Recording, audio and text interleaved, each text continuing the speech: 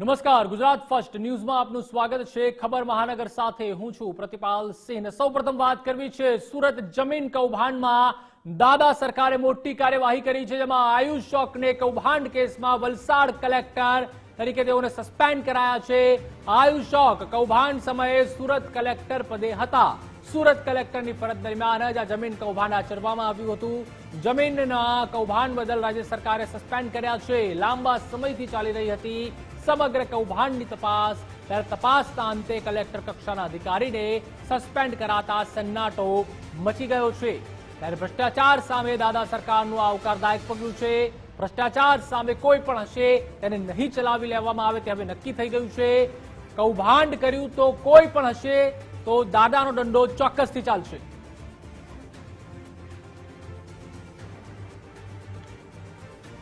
તો જેમણે ફરિયાદ કરી હતી તે દર્શન નાયક આપણી સાથે જોડાઈ ચુક્યા છે.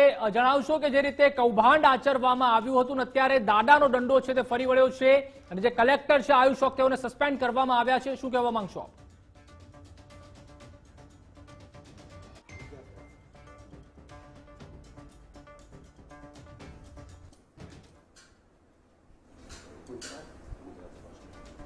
હલો જી દર્શનભાઈ મારો અવાજ આવી રહ્યો છે? Hello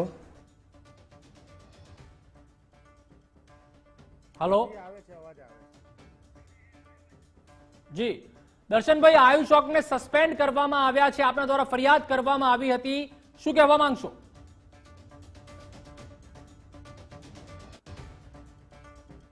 પ્રથમ હું ગુજરાત સરકારના મુખ્યમંત્રીને અભિનંદન આપું છું કે એમણે આ ભ્રષ્ટાચારી કલેક્ટરની સામે જે પગલું લીધું છે એ આવનારા દિવસોમાં સમાજને આવી પ્રવૃત્તિ કરતા અધિકારીઓ હોય કે રાજકીય માફિયાઓ હોય, એની સામે જે પગલું લીધું છે, આવરાદાયક પગલું છે. સાથે સાથે જે પ્રકારે અમે લોકોએ ફરિયાદ કરી હતી કે કલેક્ટરની બદલીના આગલે દિવસે એમણે જે બે લાખ સત્તર હજાર ચોરસ મીટર વાર જેટલી જગ્યા જે સરકારી સીર પડતર તરીકે ડુમ્મસ ખાતે આવેલી હતી અને આ જગ્યાની ઉપર કોઈ રાજકીય આગેવાનના દબાણ હેઠળ જે પ્રકારનો હુકમ કરવામાં આવ્યો હતો, સુઓ મોટો કરીને, એ ગંભીર બાબત હતી.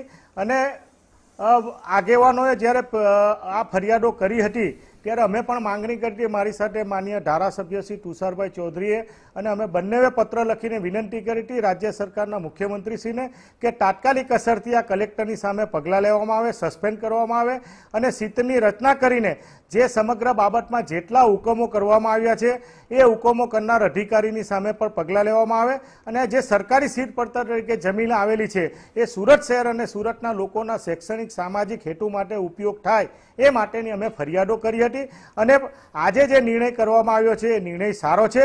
પરંતુ સાથે સાથે સરકારને વિનંતી કરીએ છીએ માન્ય મુખ્યમંત્રીને કે એમના સમય દરમિયાન જ્યારે બે હજાર એકવીસથી ત્રેવીસ સુધી અહીંયા જે કલેક્ટર તરીકે એમણે જે ફરજ બજાવી હતી, તે વખતે પણ મોટા પ્રકારના આવા હુકમો, ઘેર ગેરવહીવટના હુકમો કર્યા. એ સમગ્ર હુકમોની તપાસ થવી જોઈએ અને એમની સામે એસીબી દ્વારા પણ પગલાં લેવા જોઈએ. તો હકીકતમાં સરકાર શ્રી સારું અને યોગ્ય કામ કરે એવું મારું માનવું છે.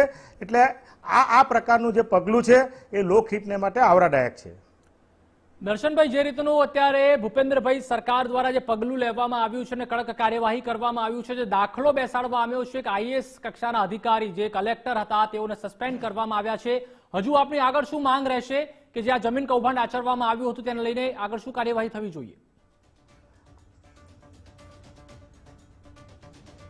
ખરેખર જે આ ડુમ્મસની જે જમીન છે એ લગભગ બે લાખ સત્તર હજાર જેટલી વાર જેટલી જગ્યા છે. અને ગુજરાતમાં જ્યારે ત્રીસમી તારીખે સમગ્ર આઈએસ અધિકારીના બદલી થવાના ઓર્ડર ઓર્ડર થયો હતો તેમાં આ કલેક્ટરશ્રીનું નામ પણ હતું, તત્કાલીન કલેક્ટરશ્રીનું. એમણે આગલા દિવસે હુકમ કર્યો, એટલે આટલું મોટું જમીન લગભગ બે હજાર કરોડની જમીનનું જે કૌભાંડ હતું, એ ફક્ત કલેક્ટર નહીં કરી શકે, એની સાથે સંકળાયેલા કોઈ રાજકીય આગેવાનો પણ હોઈ શકે અને જમીનના જે માફિયાઓ છે, આ જમીનની સાથે સંકળાયેલા, એ પણ હોઈ શકે. એટલે ફક્ત કલેક્ટરને સસ્પેન્ડ કરીને નહીં પણ પણ સમગ્ર બાબતની એક ટીમ બનાવીને એની સાથે જે કોઈ લોકો સંકળાયેલા છે, જે કોઈ પણ અધિકારી હોય, પદાધિકારી હોય, રાજકીય આગેવાન હોય કે જમીન માફિયા હોય, એની સામે પણ પગલાં લેવા જોઈએ એવી અમારી માન્ય મારા દ્વારા અને તુષારભાઈ ચૌધરી દ્વારા આવનારા દિવસોમાં પણ અમારી લડત આ બાબતની ચાલુ રહેશે. દર્શન મીરે લાગી રહ્યું છે કે અત્યારે હાલમાં તો જે કલેક્ટર છે તેઓને સસ્પેન્ડ કરવામાં આવ્યા છે, પરંતુ જે રીતે આપના દ્વારા જણાવવામાં આવ્યું કે કેટલાક ભૂમાફિયાઓ પણ છે અને રાજકીય આગેવાનો પણ છે, તો લાગી રહ્યું છે કે કાયદાનો કોરડો તેઓની ઉપર પણ વિંજાશે ટૂંક સમયમાં જ.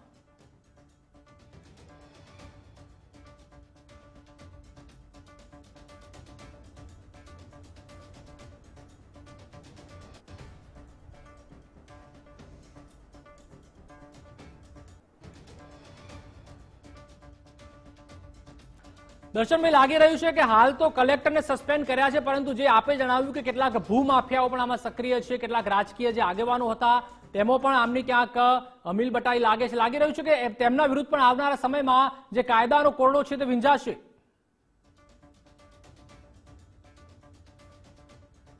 રીતે સરકારે પ્રાથમિક રીતે જે હુકમ હતો કલેક્ટરશ્રીનો, એનો સુઓ મોટો કરીને એની સામે સ્ટે લીધો હતો અને આ ફરિયાદના અનુસંધાનમાં જે પગલાં આચારસંહિતા પછી પગલાં લીધા છે, એના પરથી એવું દેખાઈ આવે છે કે કલેક્ટરશ્રીને સુરતના ઇતિહાસમાં પહેલી વખત આ રીતે સસ્પેન્ડ કરવામાં આવ્યા છે. પરંતુ સાથે સાથે ફક્ત એને સસ્પેન્ડ કરવાને બદલે જે લોકો આમાં સામેલ છે અને લગભગ દક્ષિણ ગુજરાતમાં જે રીતે જમીનને લગતા મોટા પ્રમાણમાં અધિકારીઓ અને ભૂમાફીઓ અને રાજકીય નેતાનું જે આખું ચક્ર છે વીસ ચક્ર એ વીસ ચક્રને આવનારા દિવસોમાં તોડી પાડવામાં આવે એવું માનીય મુખ્યમંત્રી શ્રી પણ પાસે અને ગુજરાતની ભારતીય જનતા પાર્ટીની સરકાર પાસે અમે અપેક્ષા રાખીએ છીએ. અને આવનારા દિવસોમાં એનો ફક્ત ને ફક્ત કલેક્ટરશ્રી સામે આ શિક્ષાત્મક પગલાં તરીકે નહીં પરંતુ મેં કીધું તે રીતે તમામ એની ખાતાકીય એના સમયગાળામાં જે કોઈ હુકમો થાય એની પણ તપાસ થવી જોઈએ. એસીબીના, એસીબી દ્વારા એની મિલકતની પણ તપાસ થવી જોઈએ. અને આની સાથે સંકળાયેલા જે જમીનને લગતા સંકળાયેલા જે લોકો આની સાથે સંકળાયેલા હોય, એની સામે પણ તાત્કાલિક અસરથી પગલાં લેવા જોઈએ. એવી અમારે લોકહિતમાં સુરત શહેરના લોકોની હિતમાં અમારી લાગણી અને માગણી છે. જી, આભાર. દર્શનભાઈ, જોડાવા બદલ.